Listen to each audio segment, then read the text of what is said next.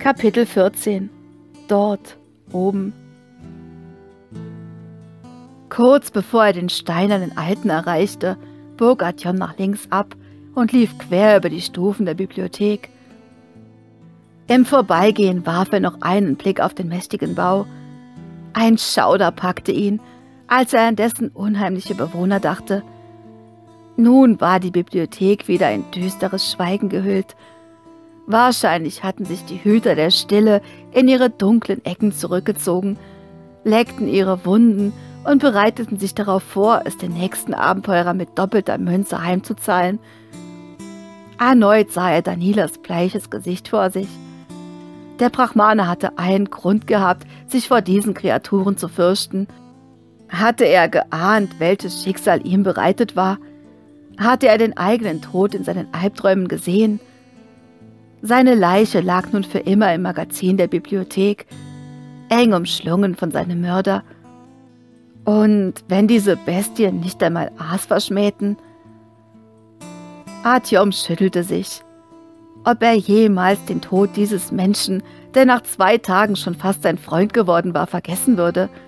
Nein, Daniela würde ihm noch lange im Traum erscheinen, wie er da lag und versuchte mit seinen blutigen Lippen Worte zu formen. Als Artyom den breiten Prospekt betrat, ging er noch einmal Melniks Anweisungen durch – Immer geradeaus, nicht abbiegen bis zum Gartenring. Hoffentlich würde er den Gartenring erkennen. Außerdem die Straßenmitte meiden, aber sich auch nicht zu nah an die Häuserwände drücken.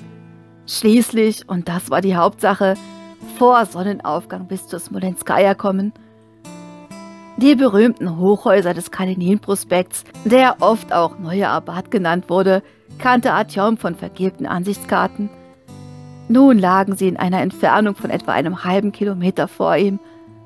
Noch war die Straße von einer langen Reihe niedriger Stadtvillen gesäumt. Am Ende machte sie einen leichten Knick nach links und mündete in den neuen Abad. Aus der Nähe waren die Umrisse der Gebäude gut zu erkennen, doch sobald sich Artyom von ihnen entfernte, verschwammen sie im Zwielicht.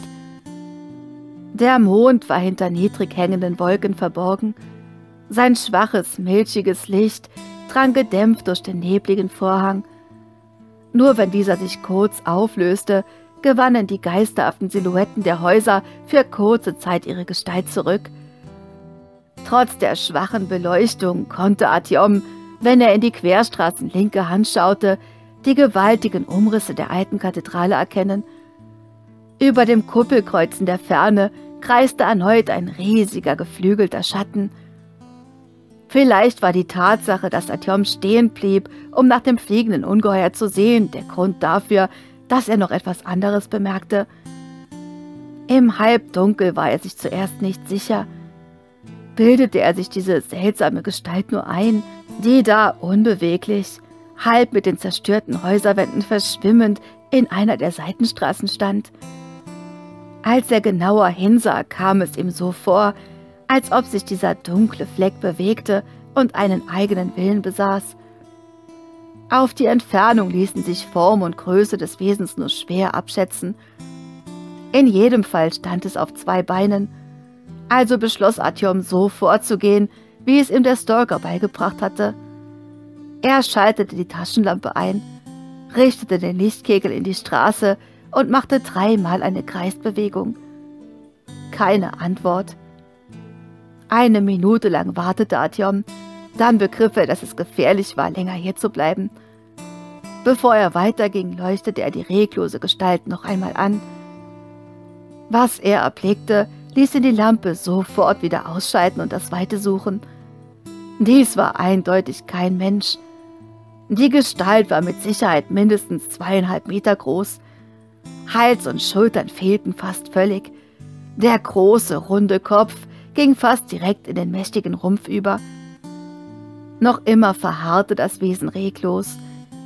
Doch trotz dieser scheinbaren Unentschlossenheit spürte Artyom, dass von ihm Gefahr ausging. Die etwa 150 Meter bis zur nächsten Querstraße legte er in weniger als einer Minute zurück. Als er jedoch näher hinsah, bemerkte er, dass es sich nicht um eine Querstraße, sondern um eine riesige Bresche handelte, die gewaltsam in die Wohnhäuser geschlagen worden war.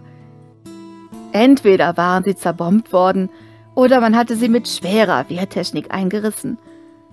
Als Atjoms Blick die halb zerstörten Häuser streifte, blieb er erneut an einem undeutlichen, reglosen Schatten hängen.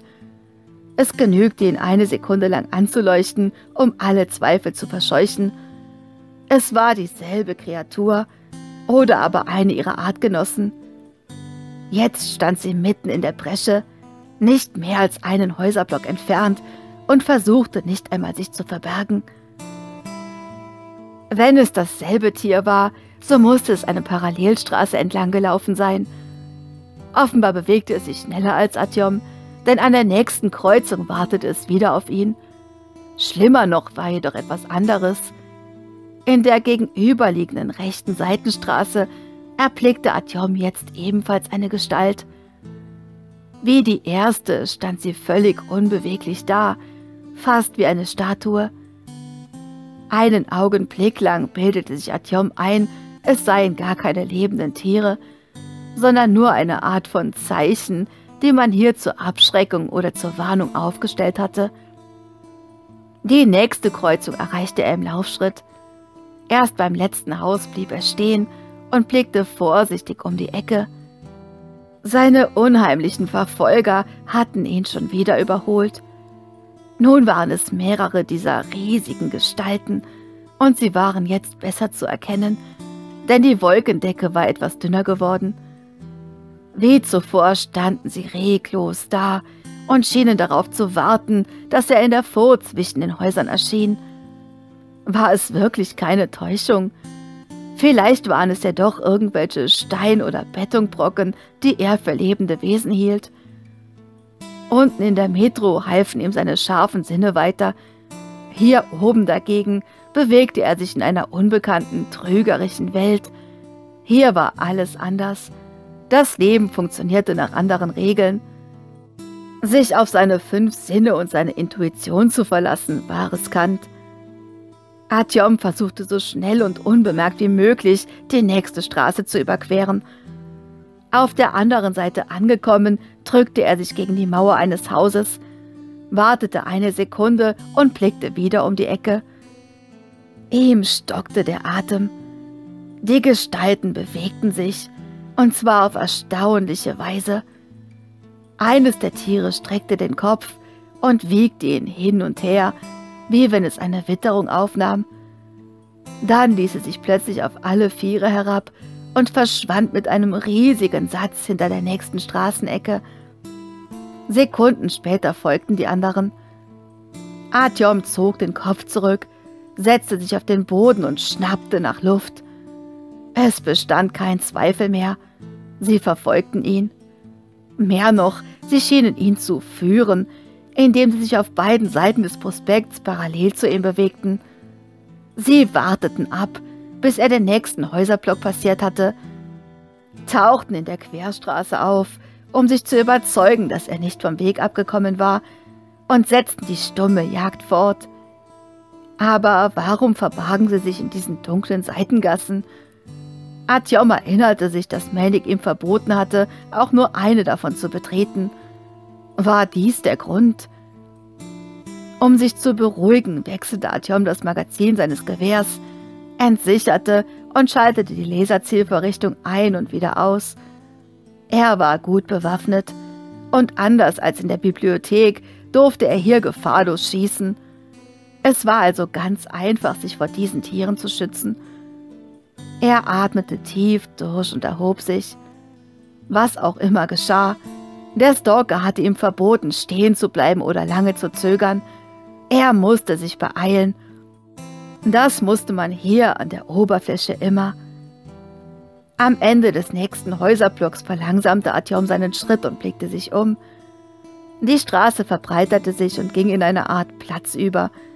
Ein Teil davon war durch einen Zaun abgetrennt und sah aus wie ein Park. Auf mächtigen, knorrigen Stämmen prangten ausladende Kronen, die bis an den vierten Stock des nächstgelegenen Gebäudes heranreichten. Vermutlich waren es diese Parks, aus denen die Stalker das Holz mitbrachten, mit dem große Teile der Metro beheizt und beleuchtet wurden. In den Lücken zwischen den Baumstämmen zeigten sich flüchtig seltsame Schatten, und weiter hinten flackerte ein schwaches Licht, das Artyom für die Flamme eines Lagerfeuers gehalten hätte, hätte es nicht so seltsam grünig geleuchtet. Das Gebäude selbst machte einen unheilvollen Eindruck. Es schien bereits mehrfach Schauplatz heftiger und blutiger Kämpfe gewesen zu sein. Die oberen Etagen waren eingestürzt. An vielen Stellen gab es schwarze Einschusslöcher und von einigen Räumen standen nur noch zwei Wände, so dass man durch die leeren Fenster in den trüben Nachthimmel sehen konnte. Auf der anderen Seite des Platzes traten die Gebäude weit auseinander. Ein breiter Boulevard kreuzte die Straße. Dahinter erhoben sich aus der Dunkelheit wie Wachtürme die ersten Hochhäuser des neuen Abad. Der Eingang zur Metrostation Abadskaya musste sich ganz in der Nähe auf der linken Seite befinden. Artyoms Blick streifte nochmals den düsteren Park. Melnik hatte recht gehabt. In diesem Dickicht den Zugang zur Metro zu suchen, war keine gute Idee. Je länger er das schwarze Gestrüpp betrachtete, desto deutlich schien er zwischen den Wurzeln der gigantischen Bäume die gleichen unheimlichen Gestalten auszumachen, die ihm zuvor gefolgt waren. Ein Windstoß erfasste die Baumkronen, und die mächtigen Äste begannen schwerfällig zu knarren. Von ferne ertönte ein langgezogenes Heulen. Der Wald schwieg, aber nicht etwa, weil er tot war. Diese Stille entsprach der Lautlosigkeit von Artyoms geheimnisvollen Verfolgern. Auch der Wald schien auf etwas zu warten. Artyom hatte das Gefühl, wenn er noch weiter so schamlos die Untiefen dieses Parks betrachtete, werde die Strafe nicht ausbleiben. Also nahm er das Gewehr bequemer, blickte sich um, ob ihm die Kreaturen nicht zu nahe gekommen waren, und eilte weiter. Doch schon nach wenigen Sekunden blieb er erneut stehen, gebannt von dem Anblick, der sich ihm nun bot. Er befand sich im Schnittpunkt einiger breiter Straßen. Es war eine ungewöhnliche Kreuzung, denn die Querstraße tauchte zum Teil in einen Tunnel ab und kam auf der anderen Seite wieder an die Oberfläche. Rechter Hand erstreckte sich ein breiter Boulevard, was Artyom an dem schwarzen Dickicht riesiger, wuchernder Bäume erkannte. Links befand sich ein großer asphaltierter Platz, ein komplexes Geflecht aus mehrspurigen Fahrbahnen und dahinter erneut dichtes Gestrüpp. Artyom konnte nun schon recht weit sehen und fragte sich, ob das damit zusammenhing, dass die mörderische Sonne bald aufgehen würde. Die Straßen waren übersät mit verbeulten und ausgebrannten Wracks, die Artyom als Automobile identifizierte. Nichts davon war in brauchbarem Zustand. In zwei Jahrzehnten hatten die Stalker alles mitgehen lassen, was nicht nied- und nagelfest war. Das Benzin aus den Tanks, die Akkus und Generatoren, Scheinwerfer und Blinklichter, die Sitze. All das gab es nun an der WDNRA wie auf jedem anderen größeren Markt der Metro. Der Asphalt war an mehreren Stellen von Kratern unterschiedlicher Größe aufgebrochen. Überall gab es Risse, durch die Gräser und andere Pflanzen wuchsen, deren Stängel sich unter dem Gewicht dicker, kugelförmiger Früchte bogen. Direkt vor sich sah Atjom die düstere Schlucht des neuen Abbats beginnen. Die berühmten Häuser, die wie riesige aufgeklappte Bücher aussahen, auf der einen Seite waren die mindestens 20-stöckigen Gebäude wie durch ein Wunder fast unversehrt geblieben, während sie auf der anderen halb eingefallen waren. Und hinter ihm lag die Straße zur Bibliothek und zum Kreml. Er stand mitten auf diesem majestätischen Friedhof der Zivilisation und fühlte sich wie ein Archäologe bei der Ausgrabung einer antiken Stadt, deren einstige Größe und Schönheit noch viele Jahrhunderte später beim Betrachter ehrfürchtiges Schaudern hervorriefen. Artyom versuchte sich vorzustellen, dass einst Menschen diese zyklopischen Bauten bewohnt hatten. Mit solchen Fahrzeugen hatten sie sich fortbewegt. Diese hatten damals sicher noch in allen möglichen Farben gefunkelt und waren sanft rauschend über die glatte Fahrbahn gerollt, sodass der harte Asphalt von ihren Gummireifen warm wurde. Die Metro hatten sie nur benutzt, um schneller von einem Ende dieser grenzenlosen Stadt zum anderen zu gelangen. Unvorstellbar. Woran hatten sie jeden Tag gedacht? Was waren ihre Sorgen gewesen? Welche Sorgen konnte man überhaupt haben als Mensch, der nicht jede Sekunde um sein Leben fürchten muss, der nicht ständig darum kämpft, es wenigstens noch um einen Tag zu verlängern? In diesem Augenblick traten die Wolken auseinander und die nicht ganz vollständige Scheibe des Mondes, als hätte jemand ein Stück abgebissen, kam zum Vorschein. Artyom bemerkte erstaunt, dass dieser nicht gleichmäßig weiß war, sondern von seltsamen Linien durchzogen wurde. Sein helles Licht erfüllte die tote Stadt und verstärkte hundertfach ihre düstere Erhabenheit. Häuser und Bäume, bisher für Artyom nur flache und körperlose Umrisse, lebten auf und gewannen an Form. Details, die zuvor unsichtbar gewesen waren, kamen mit einem Mal zum Vorschein. Unfähig, sich zu rühren, sah sich Artyom wie verzaubert nach allen Seiten um und unterdrückte ein inneres Beben, das ihn plötzlich erfasst hatte. Erst jetzt begriff er, warum die Stimmen der Alten so sehnsüchtig geklungen hatten. Erst jetzt wurde ihm bewusst, wie weit sich der Mensch von seinen einstigen Errungenschaften entfernt hatte. Er glich einem herrlichen Vogel, der einst stolz am Himmel gekreist und nun, tödlich verwundet, auf der Erde gelandet war, um sich in einem geschützten Winkel zurückzuziehen, um dort leise zu sterben. Artyom musste an das Gespräch zwischen Hunter und seinem Stiefvater denken. Würde der Mensch überleben?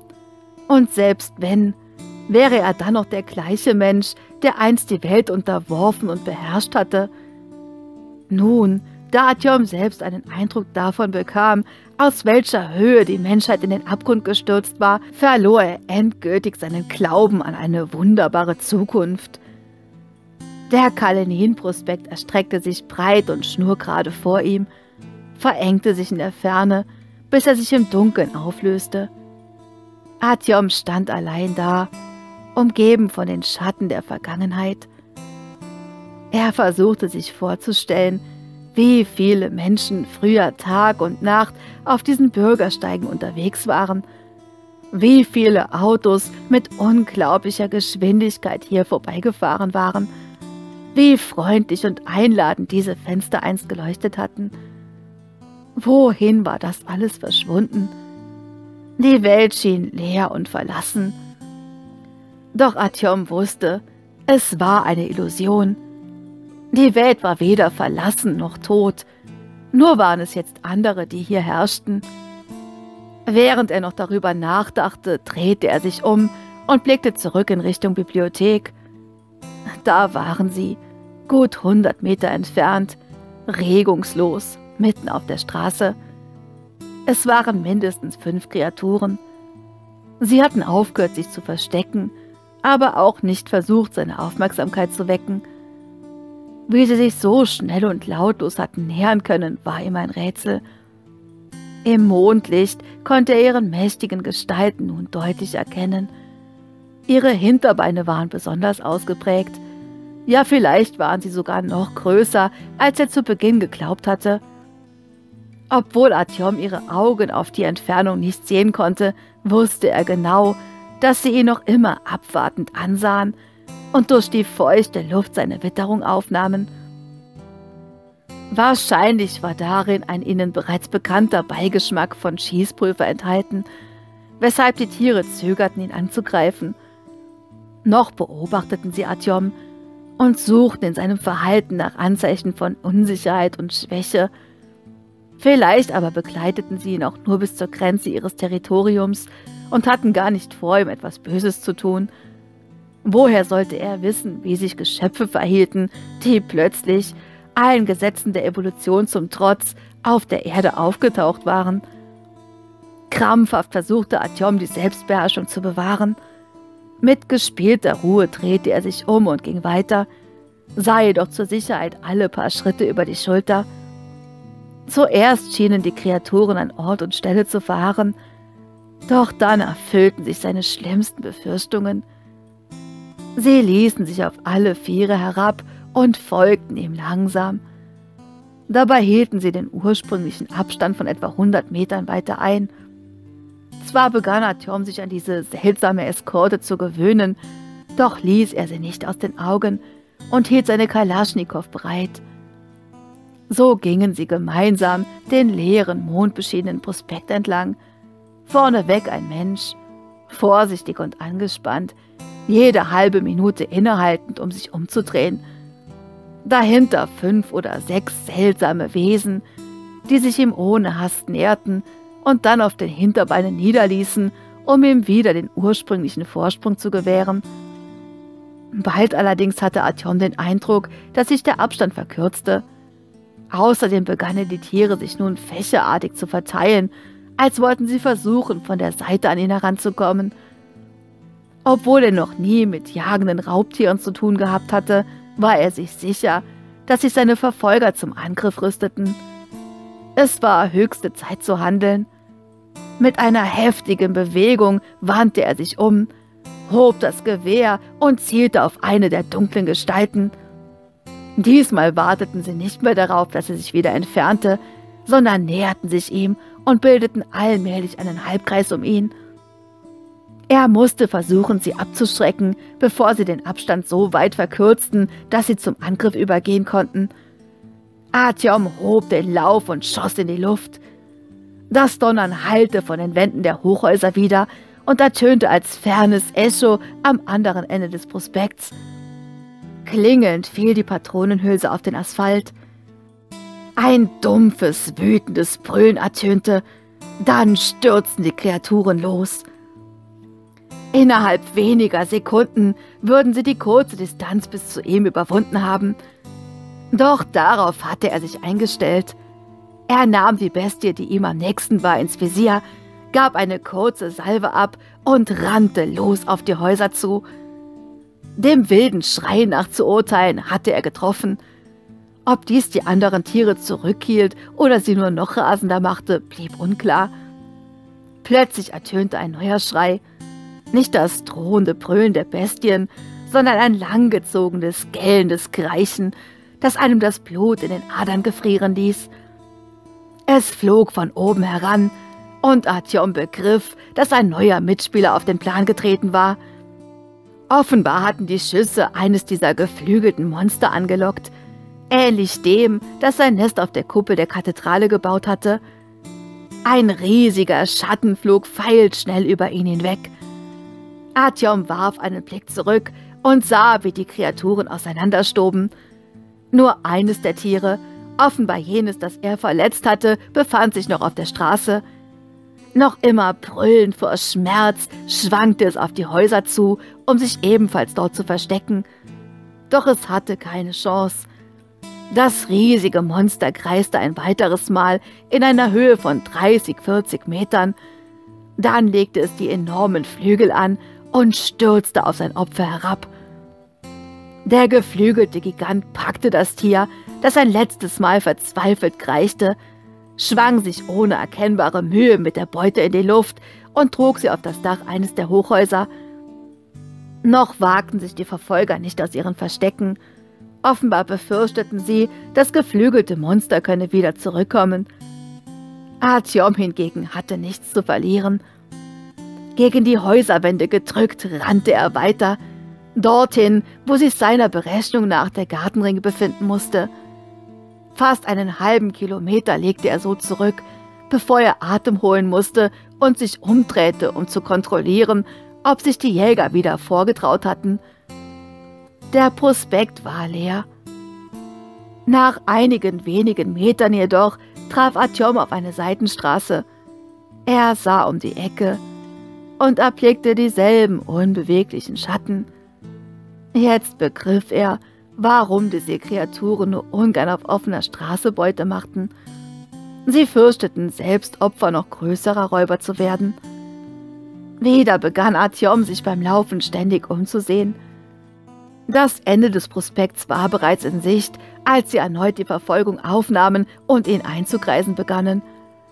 Artyom schoss ein weiteres Mal in die Luft, in der Hoffnung, so das geflügelte Ungeheuer erneut anzulocken und die Bestien abzuschrecken. Diese blieben tatsächlich kurz auf ihren Hinterbeinen stehen und reckten die Hälse. Doch der Himmel blieb leer. Das Monster war offenbar noch nicht mit der ersten Portion fertig. Artyom begriff dies früher als seine Verfolger. Er rannte nach rechts, lief um eines der Häuser herum und stürzte in den nächstbesten Eingang. Obwohl Melnik ihn gewarnt hatte, dass die Häuser bewohnt waren, wäre es reiner Wahnsinn gewesen, einem so starken und beweglichen Gegner auf offenem Felde entgegenzutreten.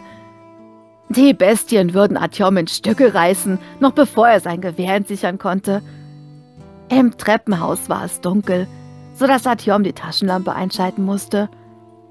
Der runde Lichtfleck ließ eine schäbige Wand erkennen, die jemand vor Jahrzehnten mit Unfertigkeiten vollgeschmiert hatte. Eine völlig verdreckte Treppe sowie eingeschlagene Türen, hinter denen demolierte und ausgebrannte Wohnungen zum Vorschein kamen. Einige Ratten liefen ohne jegliche Scheu umher. Den Eingang hatte er gut gewählt. Die Fenster des Treppenhauses gingen auf den Prospekt hinaus, und aus einem der oberen Stockwerke konnte er sehen, dass die Kreaturen zögerten, ihm zu folgen. Sie hatten sich zwar der Tür genähert, doch anstatt hineinzugehen, umringten sie den Eingang, richteten sich auf ihren Hinterpfoten auf und erstarrten wieder zu steinernen Statuen. Artyom war überzeugt, sie würden sich nicht einfach so zurückziehen und ihre Beute entkommen lassen. Früher oder später würden sie den Versuch machen, ihn herauszuholen – wenn sich in diesem Treppenhaus nicht ohnehin etwas verbarg, was Artyom zur Flucht zwingen würde. Er stieg ein weiteres Stockwerk hinauf und entdeckte, dass eine der Wohnungstüren noch zu war. Er drückte mit der Schulter dagegen. Abgesperrt. Ohne lange nachzudenken hielt er die Mündung seiner Waffe gegen das Schloss, drückte ab und stieß dann die Tür mit dem Fuß auf. Es spielte keine große Rolle, in welcher Wohnung er der Belagerung standzuhalten versuchte. Doch die Gelegenheit, die unberührte Behausung von Menschen einer vergangenen Epoche zu sehen, wollte er sich nicht entgehen lassen. Er schlug die Tür hinter sich zu und schob einen im Flur stehenden Schrank davor. Ernsthaften Widerstand würde diese Barrikade zwar nicht bieten, aber er würde es zumindest merken, wenn jemand sie zu überwinden versuchte. Dann trat Atjom ans Fenster und blickte vorsichtig nach draußen. Er hatte eine fast perfekte Schussposition. Aus dem dritten Stock hatte er den Eingang und die etwa zehn Tiere, die nun im Halbkreis davor saßen, gut im Blick. Nun war er im Vorteil und er zögerte nicht, dies auszunutzen. Er schaltete die Laserzielvorrichtung ein, richtete den roten Punkt auf den Kopf der größten Bestie, atmete aus und drückte ab. Eine kurze Salve knatterte los, und das Tier sagte lautlos zur Seite. Blitzartig rannten die anderen auseinander, und einen Augenblick später war die Straße leer. Artyom beschloss, eine Weile zu warten und später nachzusehen, ob der Tod ihres Artgenossen die anderen tatsächlich verjagt hatte. In jedem Fall blieb ihm etwas Zeit, die Wohnung zu untersuchen. Obwohl die Fenster im gesamten Haus schon seit langem zerbrochen waren, waren die Möbel und überhaupt die gesamte Einrichtung erstaunlich gut erhalten. Auf dem Boden lagen kleine Klümpchen, die an das Rattengift erinnerten, das an der WDNRA verwendet wurde. Womöglich war es das auch, denn Artyom entdeckte in den Zimmern nicht eine einzige Ratte. Je länger er durch die Wohnung ging, desto mehr gelangte er zu der Überzeugung, dass die Bewohner genügend Zeit gehabt hatten, sie geordnet zu verlassen. Sie hatten alles sorgsam konserviert, um vielleicht eines Tages wieder zurückzukehren. Die Zimmer waren in perfekter Ordnung. In der Küche hatte man keinerlei Lebensmittel zurückgelassen, die Nagetiere oder Insekten hätten anlocken können, und ein Großteil der Möbel war in Plastik eingehüllt. Während er von einem Zimmer ins andere ging, versuchte Artyom sich den Alltag der Bewohner vorzustellen. Wie viele Menschen hatten ihr gelebt? Um wie viel Uhr waren sie aufgestanden, von der Arbeit zurückgekommen, hatten zu Abend gegessen? Wer hatte am Kopfende des Tisches gesessen? Von vielen Ritualen und Gegenständen der damaligen Zeit hatte er nur in Büchern gelesen. Jetzt, da er zum ersten Mal eine echte Wohnung sah, musste er sich eingestehen, dass er sich ein völlig falsches Bild gemacht hatte. Er hob die halbtransparente Plastikfolie vor dem Bücherregal an. Neben einigen Kriminalromanen, die er von den Büchertischen in der Metro kannte, gab es dort auch bunte Kinderbücher. Eines davon fasste er am Rücken und zog es vorsichtig heraus. Als er die mit fröhlichen Tierbildern illustrierten Seiten durchblätterte, fiel aus dem Buch ein festes Stück Papier heraus. Artyom bückte sich und hob es auf. Es war ein verblasstes Foto einer lächelnden Frau, die einen kleinen Jungen auf dem Arm hatte. Artyom erstarrte und sein Herz, das eben noch gleichmäßig das Blut durch den Körper gepumpt hatte, schlug jetzt wie wild.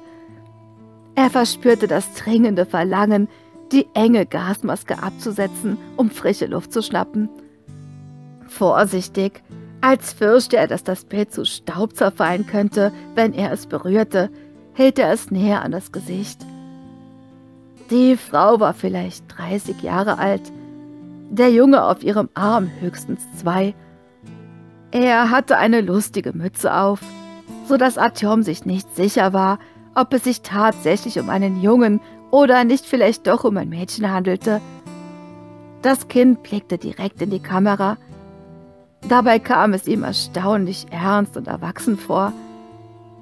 Als Artyom das Foto umdrehte, verschwamm ihm alles vor den Augen.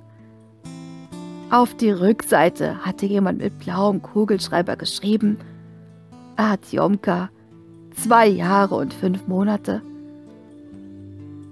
Es war, als hätte man einen Stab aus ihm herausgezogen. Seine Knie wurden weich. Er musste sich auf den Boden setzen. Er hielt das Foto ins Mondlicht, das vom Fenster hereinfiel. Warum kam ihm das Lächeln der Frau so bekannt vor? Warum hatte ihm ihr Anblick sofort den Atem geraubt? Bevor die Stadt ausgestorben war, hatten über 10 Millionen Menschen darin gelebt. Artyom war zwar kein besonders häufiger Name, aber in einer solchen Millionenstadt hatten sicher einige Zehntausend Kinder dieses Namens gelebt. Das war die gesamte jetzige Bevölkerung der Metro. Die Chance war verschwindend gering. Aber warum machte das Lächeln der Frau einen so vertrauten Eindruck? Er versuchte sich jene bruchstückhaften Kindheitserinnerungen ins Gedächtnis zu rufen die manchmal für Sekunden vor seinem inneren Auge aufblitzten oder in seinen Träumen auftauchten. Ein heimeliges kleines Zimmer, sanftes Licht, eine Frau, die ein Buch las, eine breite Liege. Er sprang auf und wirbelte durch die Zimmer, auf die Suche nach der Einrichtung, die seinem Traum entsprach. Und tatsächlich, einen Augenblick lang schien es ihm, dass in einem der Zimmer die Möbel in vertrauter Weise angeordnet waren. Das Sofa sah etwas anders aus und das Fenster war an einer anderen Stelle. Aber was machte das schon? Schließlich konnte sich dieses Bild im Bewusstsein eines dreijährigen Kindes auch verzerrt eingeprägt haben. Eines Dreijährigen. Auf dem Foto war ein anderes Alter angegeben, doch auch das hatte nichts zu bedeuten. Es stand ja kein Datum daneben. Das Bild konnte zu jedem Zeitpunkt entstanden sein, nicht unbedingt erst wenige Tage, bevor die Familie die Wohnung für immer hatte verlassen müssen. Vielleicht ein halbes Jahr oder sogar ein ganzes Jahr davor. Dann stimmte das Alter des Jungen auf dem Foto mit seinem überein. Und die Wahrscheinlichkeit, dass er selbst mit seiner Mutter auf dem Foto abgebildet war, wäre dann ungleich höher. Aber das Foto konnte auch drei oder fünf Jahre zuvor entstanden sein. Ja, auch das war möglich. Dann kam ihm ein anderer Gedanke. Er riss die Tür zum Badezimmer auf, blickte sich um und fand endlich das, was er gesucht hatte. Der Spiegel war mit einer so dicken Staubschicht bedeckt, dass nicht einmal das Licht der Taschenlampe darin zu sehen war. Mit einem Handtuch, das die Bewohner an einem Haken zurückgelassen hatten, rieb er eine Stelle frei. Durch dieses Loch erblickte er im Schein der Taschenlampe sein Spiegelbild mit Gasmaske und Helm. Das hagere, ausgemergelte Gesicht war hinter der Kunststoffmaske nicht zu sehen. Doch kam es ihm so vor, als ähnelten seine dunklen, tief eingesunkenen Augen denen des Jungen. Artyom hielt sich das Foto vor das Gesicht, betrachtete aufmerksam die Züge des Jungen und blickte dann wieder in den Spiegel. Erneut leuchtete er den Abzug an und verglich ihn nochmals mit dem Gesicht hinter der Gasmaske. Er versuchte sich daran zu erinnern, wie es das letzte Mal ausgesehen hatte, als er vor dem Spiegel gestanden war. Wann war das gewesen? Kurz vor seinem Aufbruch an der WDMRA. Doch, wie viel Zeit war seither vergangen? Nach dem, was er von seinem Gesicht im Spiegel erkennen konnte, mussten es Jahre gewesen sein. Wenn er doch diese verdammte Maske abnehmen könnte. Natürlich veränderten sich Menschen oft bis zur Unkenntlichkeit, doch bewahrte jedes Gesicht zumindest etwas, was an die fernen Jahre der Kindheit erinnerte. Es blieb nur eines, zur WDNRA zurückkehren und zu Roy zu fragen, ob die Frau auf diesem Stück Papier jener Person ähnelte, die ihm vor vielen Jahren im Angesicht des Untergangs ihrer Station das Leben ihres Kindes in die Hände gelegt hatte. Artyoms Mutter. Suchoi würde sie erkennen. Er hatte ein professionelles Gedächtnis. Er würde sagen können, ob sie die Frau auf dem Foto war oder nicht. Noch einmal betrachtete Artyom das Bild, dann streichelte er mit einer Zärtlichkeit, die ihn selbst überraschte, das Gesicht der Frau, legte das Foto zurück in das Buch und steckte dieses in seinen Rucksack. Seltsam, dachte er. Erst vor ein paar Stunden hatte er sich im größten Wissensspeicher des Kontinents befunden und hatte aus Millionen unterschiedlicher, zum Teil unglaublich kostbarer Bücher die freie Auswahl gehabt. Doch hatte er sie weiter auf den Regalen verstauben lassen. Ja, nicht einmal der Gedanke war ihm gekommen, sich an den Schätzen der Bibliothek zu bereichern. Stattdessen steckte er nun ein ganz einfaches Bilderbuch ein und fühlte sich doch so, als hätte er den größten aller irdischen Schätze gefunden. Er ging in den Flur zurück, um weitere Bücher aus dem Regal durchzublättern und vielleicht in den Schränken nach Fotoalben zu suchen. Doch als er zum Fenster blickte, bemerkte er dort eine Veränderung. Eine leichte Unruhe ergriff ihn. Etwas stimmte nicht. Er trat näher heran und begriff, die Nacht hatte eine andere Farbe bekommen. Ein gelb-rosa Ton hatte sich in das Grau gemischt. Es wurde allmählich hell. Die Tiere hatten sich wieder vor dem Eingang versammelt, wagten sich jedoch nicht hinein. Der Kadaver ihres Artgenossen war nirgends zu sehen. Vielleicht hatte ihn das geflügelte Monster fortgeschafft, oder sie hatten ihn selbst in Stücke gerissen. Artyom verstand nicht, was sie davon abhielt, die Wohnung zu erstürmen, auch wenn es ihm natürlich nur recht war. Würde er es noch vor Sonnenaufgang bis zur Smolenskaya schaffen? Und würde er seine Verfolger abhängen können? Natürlich konnte er auch einfach in der verbarrikadierten Wohnung bleiben. Vor den Sonnenstrahlen würde er sich ins Badezimmer zurückziehen. Dort konnte er abwarten, bis die Helligkeit die Räuber vertrieben hatte und mit Einbruch der Dunkelheit seinen Weg fortsetzen. Doch wie lange würde sein Schutzanzug halten? Und wie lange reichte der Filter seiner Gasmaske? Und was würde Melnik unternehmen, wenn er nicht zur rechten Zeit am vereinbarten Ort antraf? Artyom trat an die Wohnungstür und horchte. Stille. Vorsichtig schob er den Schrank beiseite und öffnete langsam die Tür. Auf dem Treppenabsatz war niemand. Doch als er mit der Taschenlampe die Treppe absuchte, bemerkte er etwas, was vorher nicht da gewesen war. Oder hatte er einfach nicht darauf geachtet? Eine dicke Schleimschicht bedeckte die Stufen. Es sah so aus, als wäre jemand soeben dort entlang gekrochen. Zum Glück lief die Spur in der Wohnungstür, hinter der sich Artyom die ganze Zeit befunden hatte, vorbei – doch das war nur ein geringer Trost. Auch dieses Haus war also nicht so leer, wie er gedacht hatte. Schlagartig war Artyom die Lust vergangen, noch weiter in der Wohnung zu bleiben oder gar zu schlafen. Er hatte nur eine Möglichkeit. Er musste die hungrigen Bestien verjagen und versuchen, die Smolenskaya zu erreichen. Und das, bevor ihm die Sonne die Augen ausbrannte und jene Ungeheuer weckte, von denen Melnik gesprochen hatte. Diesmal zielte er nicht sorgfältig, sondern versuchte einfach nur so viele Tiere wie möglich zu treffen. Zwei von ihnen brüllten auf und fielen zu Boden, die anderen verschwanden in den Gassen. Der Weg schien frei zu sein. Atjom stürzte die Treppe hinunter und blickte vorsichtig aus der Tür, ob nicht jemand im Hinterhalt auf ihn lauerte. Dann rannte er, so schnell er nur konnte, auf den Gartenring zu. Was musste das erst für ein furchtbarer Dschungel sein, dachte er, wenn sich selbst die dünnen Baumstreifen an der Abatskaya in ein derart düsteres Gestrüpp verwandelt hatten. Ganz zu schweigen vom botanischen Garten und all den Dingen, die dort herangewachsen waren. Während sich seine Verfolger wieder sammelten, hatte Artyom sich einen kleinen Vorsprung erarbeitet und war fast am Ende des Prospekts angelangt. Es wurde immer heller, doch diese Tiere waren gegen Sonnenstrahlen offenbar unempfindlich.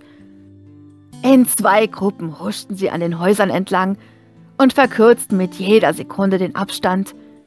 Hier auf offenem Feld waren sie im Vorteil, denn Artyom hätte stehen bleiben müssen, um richtig auf sie zu zielen. Außerdem bewegten sie sich auf vier Beinen vorwärts, sodass sie nur knapp einen Meter in die Höhe ragten, ja oft kaum zu erkennen waren. Und so schnell Artyom auch zu laufen versuchte, der Schutzanzug, der Rucksack, die zwei Gewehre und die Erschöpfung nach dieser scheinbar endlosen Nacht machten sich mit jedem Schritt deutlicher bemerkbar. Schon bald würden ihn diese rasend schnellen Tiere einholen und ihr Vorhaben zu Ende bringen – er musste an den flüchtigen Anblick der hässlichen, riesigen Kadaver denken, die in ihrem eigenen Blut vor dem Eingang gelegen hatten. Glänzendes dunkelbraunes Fell, ein riesiger runder Kopf und ein Maul, das mit Dutzenden kleiner, scharfer Zähne gespickt war, wie es schien in mehreren Reihen. Er kannte kein einziges Tier, das sich durch radioaktive Strahlung in derartige Kreaturen hätte verwandeln können – zum Glück gab es auf dem Gartenring, sofern er das war, keine Bäume. Dies hier war nur eine sehr breite Straße, die sich nach rechts und links erstreckte, soweit das Auge reichte. Bevor Artyom weiterrannte, feuerte er ohne hinzusehen eine weitere Ladung auf die Bestien ab. Sie waren nun schon auf 50 Meter herangekommen. Wieder hatten sie sich im Halbkreis um ihn verteilt, sodass zwei von ihnen fast gleich auf mit ihm liefen. Auf dem Gartenring musste Artyom zwischen einigen fünf bis sechs Meter tiefen Kratern hindurchlaufen und an einer Stelle einen großen Umweg um einen tiefen Spalt in der Fahrbahn machen. Die Häuser hier sahen seltsam aus. Nicht ausgebrannt, eher geschmolzen. Hier schien etwas Besonderes geschehen zu sein, und dieser Stadtteil war offenbar wesentlich stärker getroffen worden als der Kalinin-Prospekt, als majestätische und zugleich düstere Kulisse dieser beunruhigenden Landschaft erhob sich in einiger Entfernung ein riesiges, mehrere hundert Meter hohes Gebäude. Es glich einem mittelalterlichen Schloss und hatte scheinbar unbeschadet alle Angriffe sowie den Zahn der Zeit überstanden. Als Artyom einen hastigen Blick hinaufwarf, entfuhr ihm ein Seufzer der Erleichterung. Über dem Schloss kreiste ein furchteinflößender Schatten. Das konnte die Rettung für ihn sein. Er musste nur Aufmerksamkeit erregen, und der Schatten würde seinen Verfolgern den Garaus machen. Mit einer Hand hob Artyom das Gewehr, richtete den Lauf auf das geflügelte Ungeheuer und drückte ab. Nichts geschah. Das Magazin war leer. Das Reservegewehr im Laufen vom Rücken nach vorne zu bringen, war ein Ding der Unmöglichkeit. Also tauchte Atjom in eine der Seitenstraßen ein, lehnte sich an die Wand und wechselte die Waffe. Nun konnte er sich die Biester wenigstens vom Leib halten, bis das andere Magazin auch leer war. Das erste Tier kam bereits um die Ecke, setzte sich mit der typischen Bewegung auf die Hinterbeine und richtete sich zu seiner vollen Größe auf. Dreist war es nun so nah herangekommen, dass Artyom in den kleinen, unter massiven Knochenbögen verborgenen Augen ein böses grünes Feuer lodern sah, eine Art Widerschein jener geheimnisvollen Flamme im Park. Danilas Kalaschnikow hatte keine Laserzielvorrichtung, doch auf diese Entfernung würde Artyom wohl kaum daneben schießen. Ruhig nahm er die reglose Bestie ins Visier, hielt das Gewehr fest an die Schulter und drückte auf den Abzug. Dieser hatte etwa die Hälfte des Weges zurückgelegt, als die Mechanik blockierte. Offenbar klemmte der Verschluss. Was war passiert? Hatte er etwa die Gewehre in der Eile verwechselt? Nein, seine Waffe hatte doch den Laser. Artyom versuchte neu durchzuladen. Vergeblich. In seinem Kopf wirbelten die Gedanken umher. Daniela, die Bibliothekare. Deswegen hatten sie ihn so leicht überwältigt. Sein Gewehr hatte nicht funktioniert. Artyom sah vor sich, wie Daniela krampfhaft an dem Verschlusshebel riss, während der Bibliothekar ihn nach hinten zwischen die Regale zog. Neben der ersten Bestie waren nun völlig lautlos zwei weitere erschienen. Sie betrachteten Artyom aufmerksam, der noch immer verzweifelt an Danilas Waffe herumhantierte. Dann zogen sie ihre Schlüsse. Das erste Tier, offenbar der Anführer, machte einen großen Satz und landete fünf Meter von Artyom entfernt. In diesem Augenblick flog ein riesiger Schatten über sie hinweg, woraufhin sich die Tiere duckten und nach oben sahen. Artyom nutzte diesen Moment der Verwirrung und stürzte durch den nächsten Torbogen. Er hegte keine Hoffnung mehr, lebend aus dieser Klemme herauszukommen, sondern es war reiner Instinkt, der in den Moment des Todes so weit wie möglich hinauszögern ließ. Hier in diesen Hintergassen hatte er nicht die geringste Chance, aber der Weg zurück auf den Gartenring war nun abgeschnitten. Er fand sich in einem leeren quadratischen Hof wieder. In den umgrenzenden Häuserwänden sah er weitere Bögen und Durchgänge, und hinter einem der Gebäude ragte jenes düstere Schloss auf, das ihn bereits auf der Ringstraße in seinen Bann gezogen hatte. Doch Artyom riss sich von diesem Anblick los, denn auf dem Gebäude gegenüber las er die Aufschrift Moskauer W.I. Lenin Untergrundbahn und darunter Station Smolenskaya. Die großen Eichentüren standen leicht offen. Wie er diesmal davonkam, grenzte an ein Wunder. Es musste eine seltsame Mischung gewesen sein aus Intuition und dem Gefühl eines leichten Luftstroms, das dem Raubtier vorauslief, während es auf sein Opfer zustürzte. Die Bestie landete einen halben Meter neben ihm. Artyom glitt zur Seite und rannte mit letzter Kraft auf den Metroeingang zu. Dort war er zu Hause. Dort unter der Erde war sein Reich, war er der Herr der Lage. Die Eingangshalle des Smolenskaya sah genau so aus, wie es sich Artyom vorgestellt hatte. Dunkel, feucht und leer. Es war erkennbar, dass die Menschen von hier aus oft an die Oberfläche gingen. Die Kassenschalter und Diensträume standen offen und waren leergeräumt. Alles, was auch nur irgendeinen Wert hatte, war schon vor vielen Jahren unter die Erde gewandert. Von den Drehkreuzen und dem Häuschen der Dienstaufsicht waren nur noch die Bettungfassungen übrig. Hinten war das halbrunde Gewölbe des Tunnels zu sehen, in dem die Rolltreppen in die Tiefe hinabtauchten. Der Strahl von Artyoms Lampe verlor sich irgendwo auf halbem Wege, und so konnte er nicht sicher feststellen, ob sich am Ende tatsächlich der Eingang zur Station befand. Doch die Biester waren ihm bereits in die Eingangshalle gefolgt. Das erkannte er am Quietschen der Türen. In wenigen Augenblicken konnten sie bei den Treppen sein, und sein winziger Vorsprung wäre dahin. Ungelenkt begann er mit seinen dicken Stiefeln die wackeligen, geriffelten Stufen hinabzulaufen. Er versuchte mehrere Stufen auf einmal zu nehmen, doch plötzlich kam sein Fuß etwas zu weit vorne auf der glatten Oberfläche auf und er donnerte hinunter und schlug mit dem Genick auf die Kante. Erst nachdem er mit Helm und Hintern ein gutes Dutzend Stufen abgezählt hatte, kam er zum Stillstand. Mit der Taschenlampe leuchtete er nach oben, welch kurze Strecke er es zurückgelegt hatte, und erblickte, was er befürchtet hatte. Reglose, dunkle Gestalten sahen auf ihn herab. Wie gewohnt prüften sie vor dem Angriff die Lage oder berieten sich lautlos miteinander. Artyom rappelte sich auf und lief weiter. Wieder versuchte er zwei Stufen auf einmal zu nehmen, was ihm dieses Mal schon besser gelang. Er glitt mit der rechten Hand den Gummilauf entlang, hielt in der linken die Taschenlampe und lief so etwa 20 Sekunden lang hinab, bis er erneut stolperte. Von hinten erklang ein schweres Poltern. Die Tiere hatten sich entschlossen. Artyom hoffte inständig, die alten Stufen, die bereits unter seinem Gewicht kläglich quietschten, würden unter der Masse seiner Verfolger einfach einbrechen. Doch das lauter werdende Stampfen ließ nichts Gutes ahnen.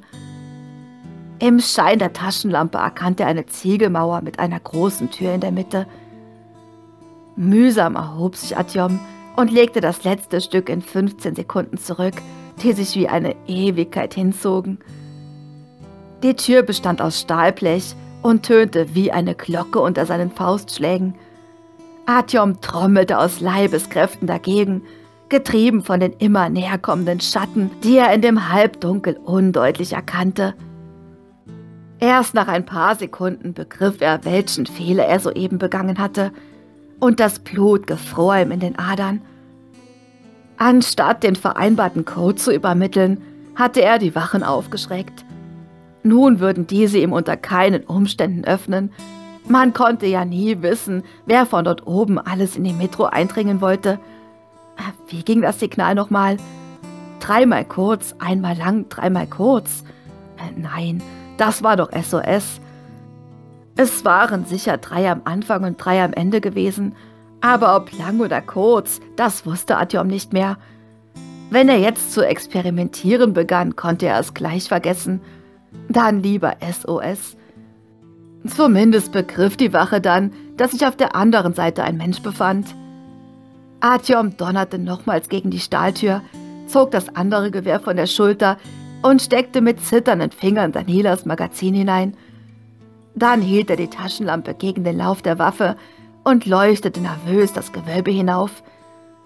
Die langen Schatten der verbliebenen Lampenständer überlagerten sich im Schein des Lichtstrahls und Artyom war sich nicht sicher, ob sich dahinter nicht irgendwo eine dunkle Gestalt verbarg. Jenseits der Stahltür herrschte immer noch absolute Stille. Mein Gott, dachte Artyom, war dies etwa die falsche Smolenskaya? Vielleicht war dieser Eingang schon vor Jahrzehnten versiegelt worden, weil ihn niemand mehr benutzte. Schließlich war er nicht Mannix Anweisungen gefolgt, sondern völlig zufällig hier angekommen – Womöglich hatte er sich geirrt. In nächster Nähe, vielleicht 15 Meter entfernt, knarzte eine Stufe. Artyom verlor die Beherrschung und feuerte blind links in die Richtung, aus der das Geräusch gekommen war. Das Echo schmerzte ihm in den Ohren. Dann wanderte es die Treppe hinauf zur Oberfläche. Doch nichts folgte, was dem Brüllen einer verwundeten Bestie ähnelte. Die Kugeln waren ins Leere gegangen. Ohne den Blick abzuwenden, drückte sich Artyom gegen die Tür und hämmerte erneut mit der Faust dagegen. Dreimal kurz, einmal lang, dreimal kurz. Plötzlich vernahm er ein schweres metallisches Knirschen auf der anderen Seite und genau in diesem Moment flog aus der Dunkelheit die Gestalt eines der Raubtiere mit rasender Geschwindigkeit auf ihn zu. Das Gewehr hielt Artyom in der rechten Hand und den Abzug drückte er fast zufällig, als er instinktiv zurückzuckte. Der Impuls der Kugeln drehte den Körper der Kreatur in der Luft und anstatt ihm an die Kehle zu springen, brach sie zwei Meter vor ihm zusammen. Doch im nächsten Moment erhob sie sich wieder, schwankte kurz. Dann sprang sie erneut und rammte Artyom gegen die kalte Stahltür. Doch da hatte Artyom ihr schon seine letzte Kugel in den Kopf gejagt und am Ende ihres Sprunges war die Bestie bereits tot. Die Wucht allerdings, mit der sie gegen Artyom prallte, hätte ausgereicht, ihn den Schädel zu brechen, wäre da nicht sein Helm gewesen. Die Tür öffnete sich und helles Licht schlug heraus. Von den Rolltreppen aus ertönte ängstliches Brüllen.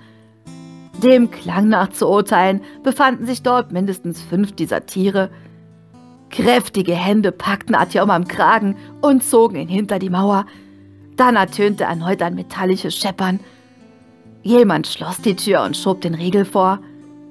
Unverletzt? fragte eine Stimme neben ihm. Hast du gesehen, wen er da mitgebracht hat? fragte eine andere Stimme. Letztes Mal sind wir sie gerade noch losgeworden und das nur mit Gas. Das hätte uns noch gefehlt, dass wir sich an der Smolenskaya einnisten. Die Arbeitskaya reicht uns schon. Möglich wäre es. Sie mögen Menschenfleisch. Lasst ihn, er gehört zu mir. Adjom, Rei, Adjom, Wach schon auf! Die dritte Stimme kam Artyom bekannt vor. Er öffnete mit Mühe die Augen. Drei Männer beugten sich über ihn. Zwei davon, wahrscheinlich die Torwächter, trugen graue Jacken und Wollmützen und hatten kugelsichere Westen an. In dem dritten erkannte Artyom zu seiner Erleichterung Melnik. Ach, das ist er also, sagte einer der Wächter etwas enttäuscht. Na, dann nehmen Sie ihn mit. Aber vergessen Sie nicht, er kommt erstmal in Quarantäne und muss dekontaminiert werden. Danke für die Nachhilfestunde, erwiderte der Stalker grinsend und reichte Artyom die Hand. Steh auf, Artyom. Du warst ziemlich lange unterwegs. Artyom versuchte sich aufzurappeln, aber seine Beine versagten ihm der Dienst. Alles drehte sich, verschwamm vor seinen Augen. Ihm wurde schlecht. Er muss ins Lazarett, befahl Melnik. Während ihn der Arzt untersuchte, besah sich Artyom die weißen Kachen an den Wänden des Operationssaals. Der ganze Raum glänzte. Ein scharfer Chlorgeruch erfüllte den Raum. Von der Decke hingen gleich mehrere Tageslichtlampen herab. Auch Operationstische gab es mehrere und neben jedem hing ein Kasten mit gebrauchsfertigen Instrumenten – die Ausstattung dieses kleinen Krankenhauses war beeindruckend, doch Artyom begriff nicht, warum es sich ausgerechnet an der Smolenskaya befand, die doch, soweit er sich erinnerte, eine friedliche Station war. Zum Glück nichts gebrochen, nur ein paar Prellungen, konstatierte der Arzt und trocknete sich die Hände an einem sauberen Handtuch ab. Die Kratzer haben wir zur Sicherheit desinfiziert. Würden Sie uns kurz allein lassen? bat Melnik. Wir müssen etwas unter vier Augen besprechen. Der Arzt nickte verständnisvoll und ging hinaus. Darauf setzte sich der Stalker auf den Rand von Atjoms Liege und forderte ihn auf, alles genauestens zu erzählen. Melniks Berechnung nach hätte Atjom zwei Stunden früher an der Smolenskaya auftauchen sollen, und er war drauf und dran gewesen, nach oben zu gehen und nach ihm zu suchen, die Geschichte mit Artyoms Verfolgern hörte er sich bis zum Ende an, jedoch ohne großes Interesse.